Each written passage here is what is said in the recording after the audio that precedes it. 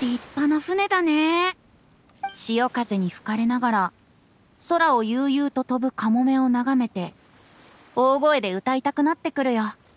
カズハここに泊まって銀融詩人として詩を読みたいんだけどいいかな？うむ。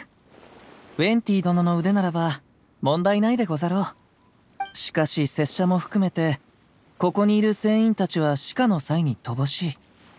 言葉の中に隠された真意を読み取ることができるかはわからぬ そんなこと言っちゃいけないよ。詩は心が感じるままに作るもの。同じ景色や雰囲気の中にいる人ならきっと感じ取ってくれるさ。ふう。モンドにも港はあるけど船に乗る機会は少ないんだよね。そういえばこの船は欠点なんてないくらい素晴らしいけどただ一つ。うむ。カズハその君の姉君に言ってくれないかな。僕は幼く見えるだけでもうとっくにお酒が飲める年だって。せっかく船の上で海の幸を食べられるのに美味しいお酒を楽しめないなんてそりゃないよ。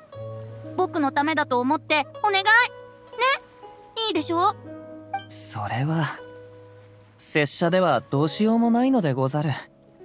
姉君が今船にいないからではなくそもそもそれについては相談の余地がないのでござるよ拙者でさえ食事時は酒を置いてない席に座ることになっている。